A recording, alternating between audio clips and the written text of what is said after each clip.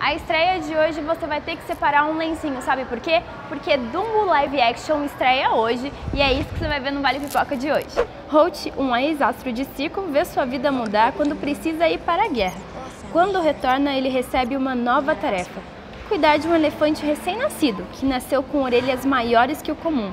Os filhos de Holt se afeiçoam ao animal e descobrem que ele pode usar sua peculiaridade física para voar.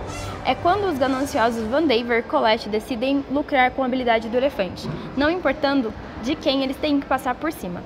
É claro que Dumbo live action vai ter várias cenas icônicas do desenho de 1941, mas a gente vai ter bastante traços do Tim Burton, já que ele é o diretor desse longa que deve estar maravilhoso. E que tal relembrar a animação de 1941? Quando a cegonha chega, igual a todos os anos, para entregar os bebês às suas mães no circo, a senhora Jumbo se depara com uma surpresa. Seu pequeno Jumbo Júnior, que tem orelhas grandes demais para um elefante recém-nascido. Logo, os outros animais o veem e começam a zombar dele, o que leva a mamãe elefanta à ira, e os domadores do circo decidem confiná-la.